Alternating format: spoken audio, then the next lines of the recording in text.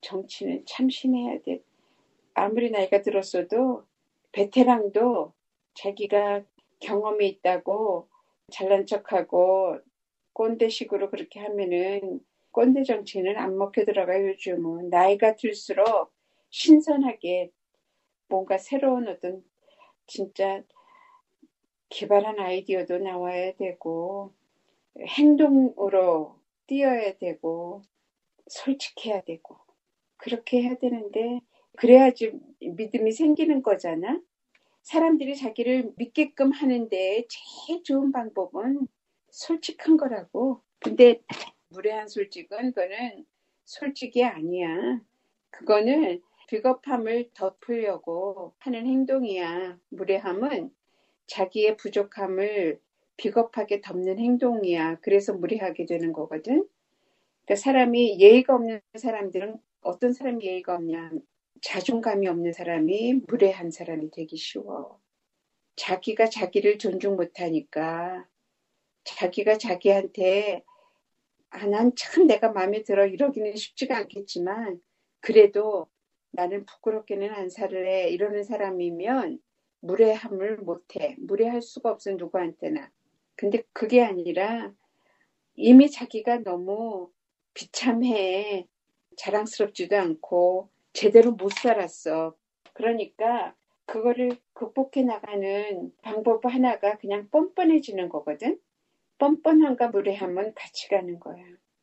그래서 사람들이 뻔뻔해지다 보니까 남을 마구 깔아뭉갠다 그러지 요새.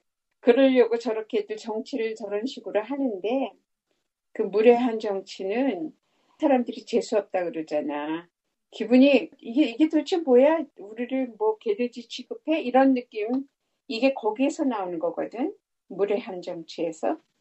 근데 자기네들이 실수를 해도 된다니까. 실수한 거를 인정 못하면 이게 아주 또 그거 덮느라고 비겁하고 무례해지는 거거든. 실수는 누구나 할 수 있다. 실수를 인정하고 바로 인정하고 솔직하게 인정하고 제대로 고쳐서 다시 한번 해보게 기회를 달라. 이런 식으로 하면서 제대로 하는 거를 또 보이겠습니다. 하겠습니다. 이러면은 우리나라 국민도 그런데 아싸라다 그래 그거 그런 말도 있지. 그런 데가 있다 우리나라 국민들은 시원시원하게 받아주는 데도 있다고. 근데 잘못해놓고도 미적거리고 비비고 그냥 슬쩍 감추고 어떻게 해서든지 뻔뻔하게 넘어가려고 그러고 이러면 못 봐줘요. 그거 이제는 못 견뎌. 정책을 잘못 세웠다 윤석열은.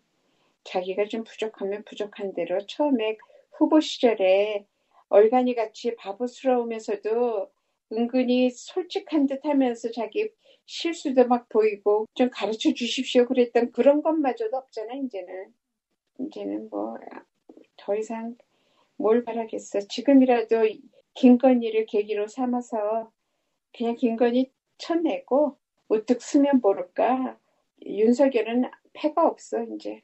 대통령실에서 막 너도 나도 어떻게 쓰든지 충성을 해보려고 그랬는지 아니면은 더 욕보이려고 그랬는지 너무 서둘러가지고 마구잡이로 판결문을 잘못 해독해가지고 김건희 쪽에 유리한 것처럼 마구마구 말을 해버렸기 때문에 더 이상은 어떻게 돌아갈 길도 없어.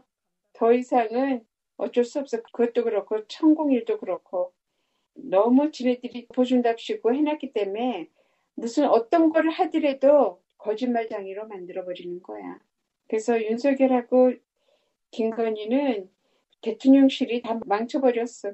거짓말장이로 새겨놓은 거지. 그러니까 더 이상 어떻게 지울 수가 없어. 낙인 정도가 아니라 돌에 새겼다니까. 지울 수가 없게 어떻게 할 수가 없는 거야, 이제는.